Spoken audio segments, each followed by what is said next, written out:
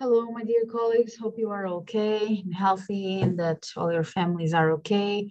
Unfortunately, we cannot be together in Singapore, but anyway, we have this option of Zoom and I truly hope that we can share any opinions, even virtually, okay?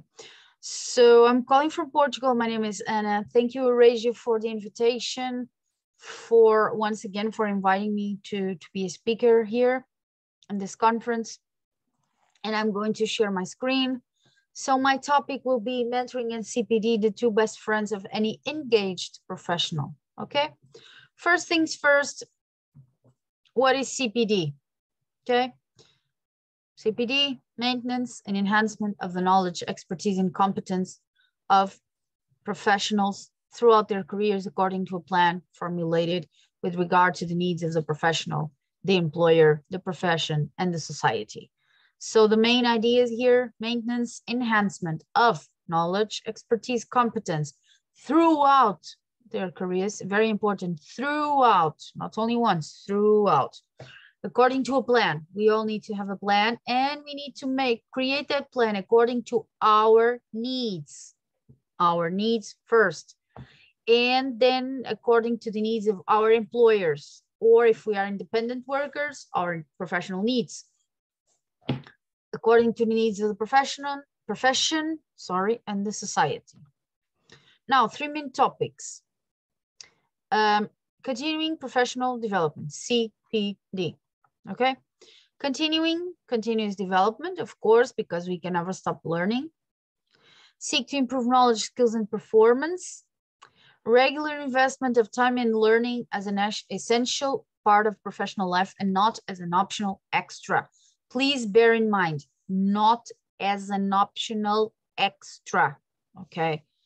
Um, I'm highlighting this because CPD is not an extra and is not optional. We all need to do it according to our needs, as you will see a bit further, but um, we need to see CPD as a way of improving and as a way of development, okay? Professional, active interest in the continuous development and improvement of self and others at both organizational and individual levels Learning objectives should be clear and serve individual and ideally clients and organizational needs. Okay. Development. We need to make a realistic assessment of what needs to be learned in order to meet the demands of the ever-changing professional and business worlds. We know everything is changing. We have seen this with COVID. The, wor the whole world changed in less than six months. Everything changed. So things can change daily or by the minute. Development if owned and managed by the individual, learning from all experiences combined with reflection as a key activity. We need to think of what we are doing, why, when, with whom, alone, together, with what purpose. Working effectively and inclusively with colleagues, clients, stakeholders, customers, teams, and individuals, both within and outside of the organization. Okay, we are not alone in the world and we need help. We always need help from somebody, from some colleagues. So we cannot be alone and we need to work with everyone around us, even if we are in our houses, in front of our computer. Benefits of CPD, skills improvement, of course, because we go and have a course a BA, an MA, an MBA, PhD, a summer course, webinar, workshop, doesn't matter. But the main aim is improving skills, okay? Improve knowledge because we improve skills and we improve knowledge, okay? Because we read, we learn, we go to classes and everything. And if we have the skills and the knowledge, we can improve our networking and we can direct our networking to some specific people or areas, okay? If we have the skills, the knowledge, and the contacts, we will have a better performance. We will be better than our neighbors. If we have the skills, the knowledge, the contacts, and the performance, we will be self-confident. And if we be if we are self-confident, we reduce our stress levels. Of course, we reduce the ones who are which are extra stress levels. not the normal ones, because all humans are stressed. Uh, of course, we are not, we do not stress if we are in a spa, of course, but the rest of the time we are stressed, all we are always stressed with something. Competitive edge regarding our competitors. So very important. And of course, earning potential, because if we have the skills, the knowledge, the context, the performance, if we are self-confident, if we don't have any stress, if we have a competitive edge, we have our earning potential just rocket to the sky. Very important, this sentence of Professor, Professor Siobhan Neary. If we don't know what the profession is, why it is a profession, and what our role is in its maintenance and development, then we cannot expect others to see this, nor can we expect them to value what we do as professionals unless we maintain and develop our professional status. Okay? We need to understand what we do, why we do it, and with what purpose. And we need to enlighten people around us why we are important, why we do this, why we don't do that, and why we are professionals. Okay? It's up to us. What makes you a professional? Managing relations, of course. And you might be thinking, well, Ana, but we are all in, in uh, um, distance work. We are in our houses because of COVID and we don't see people. Yes, but we need to manage relations, even though we will have meetings on Zoom, doesn't matter. Constructive relationships, dealing with conflicts, very important. Engaging in reflective practice, okay? Again, to think. Critical thinking, we need to analyze what we do and to analyze what others do. We need to adopt professional values and ethical standards, okay?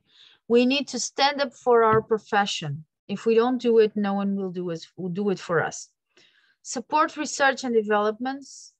Of course, if somebody's writing a thesis, please answer the questionnaires. It's horrible for people trying to gather data and try to show the world that something works if we don't have the data, okay? Respect for human rights and diversity, okay? needed as usual, okay? Human rights, diversity, more than ever now, okay? Think about it. Respect for all stakeholders and be part of an association, translators, economists, uh, managers, teachers, doesn't matter. Just stand up for your professional. Please don't forget, also regarding CPD, mentoring, we'll talk about it in 10 seconds, one minute. CPD needs, the needs are yours. Please don't get any brainwash of somebody, oh, you need to do this course. It's amazing. What's amazing for me, it's not amazing for you and vice versa. So you need to focus on your private needs, not with for, on others' needs. What is good for somebody is not good for you. You need to know what you can offer. If you know what you can offer, you're the best. If we don't know, we are lost okay return on investment because we cannot be hypocrites we need to have a return on investment because otherwise everything would close okay? All the companies would close. We need to think of how much we are going to earn okay? Networking is essential and it works so be careful. Social media please forget facebook instagram all those strange things now but linkedin is very very effective Okay, please try it if you if you never have. International CPD, very important for your curriculum. Conferences, as we are doing here, workshops, webinars, doesn't matter, okay? Now, regarding mentoring, um, there are lots of definitions for mentoring. There are more than 100 definitions because every book published regarding mentoring, the first thing the author wants to do is to give a definition. So I picked here six. I'm going just to pick three to read. Okay, can be first one. Mentoring is a process where one person offers help, guidance, advice, and support to facilitate the learning and development of another person. Second one, mentoring is a distinct relationship where one person, the mentor, supports the learning, development, and progress of another person, the mentee. And now the last one, number six, Mentoring is a method of learning and development whereby the mentor uses his or her knowledge, expertise, and experience to assist the mentee in developing critical thinking skills and personal professional growth. What I want to say here is that the definitions of mentoring, as you can see the words in bold here in my presentation, are always focused on the same definitions, uh, the same words, sorry. Help, guidance, advice, support, development, progress, uh, guidance, change, reflect, question, development, developing, expertise, knowledge, which means that these are the adjectives which define the mentors. People want to help, people want to guide, people want to be an orientation, people who want to help with a change, okay?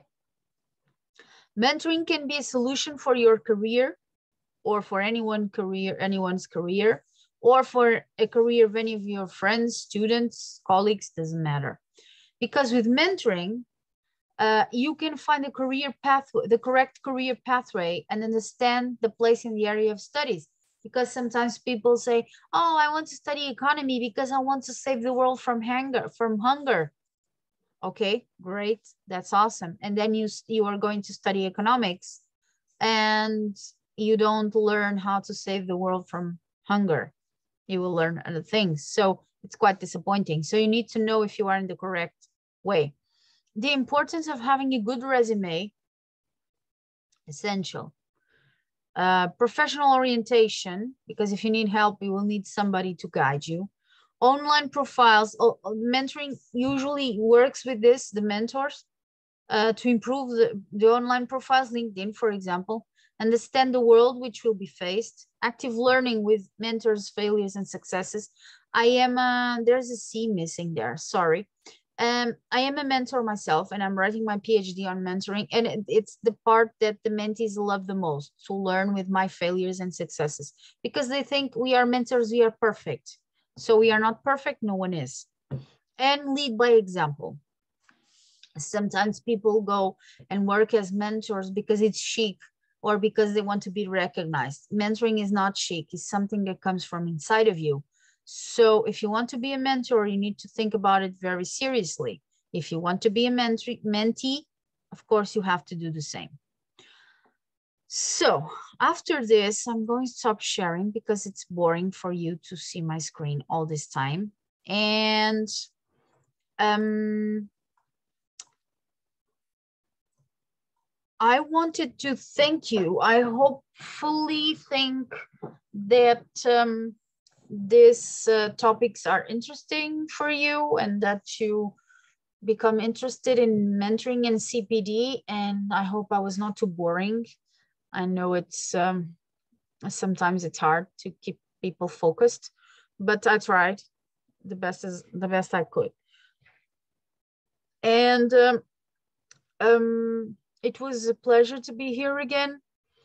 And I truly hope that we can meet in person in 2022 when all this craziness of the virus ends, hopefully, uh, from my, for my country and the rest of the world, of course. And um, I hope that I've shared some interesting information with all of you. And uh, thank you so much for being here. Thanks.